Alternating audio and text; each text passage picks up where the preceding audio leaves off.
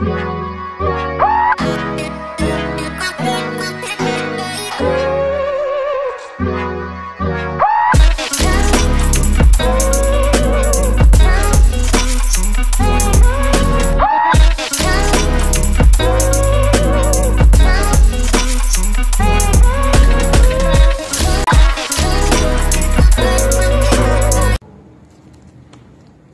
araw. Ako si Ramir Partosa Jubay Jr., ang gurong tagapayo ng 12 Helix. Sa paglipas ng panahon, napanatili namin ang aming silid-aralan ng malinis at maayos dahil naniniwala kami that a classroom should be a learner-friendly and a conducive place for learning. Matatapos din ang pandemya at babalik din ang lahat sa dati. And our classroom is very ready because we believe that our classroom is not just a room, but a home.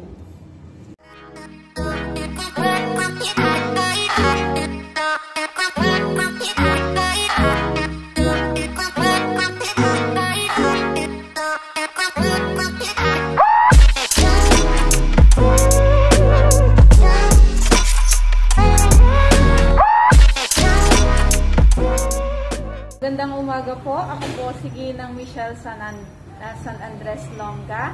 At uh, eto, nais ko lang pong ipabatid sa inyo na may katotohanan po ang sinasabi po ng gurong tagapayo ng 12 Helix na si Ginoong Ra- Ramier P. Jubay Jr. na ang kanya pong classroom ay totoo namang nakahanda para sa face-to-face uh, learning class. Ah, bagamat nasa pandemya po tayo ngayong panahong ito at wala pong nangyayaring face-to-face, ay lagi po itong nakahanda at ako po ay isa sa nagpapatotoo ng kanyang mga sinabi.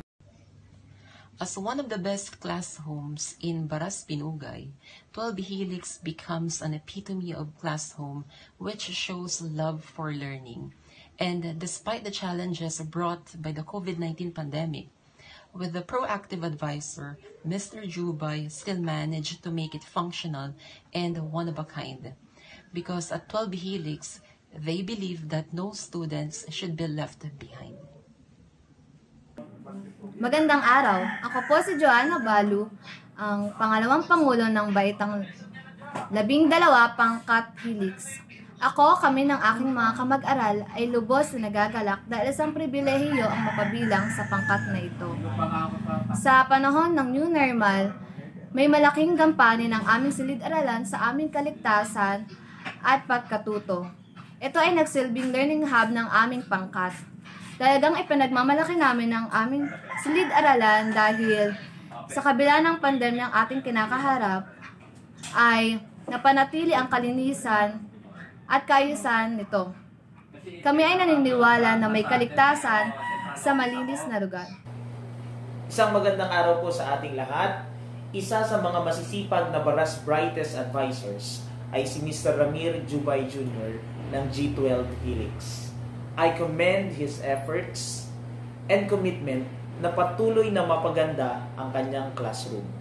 Although we are in a pandemic, alam ko na pag tayo ay nag-normalize na, students will feel great and awesome pag napasok ang kanyang classroom. Ang G12 Helix ay tahanan ng karunungan.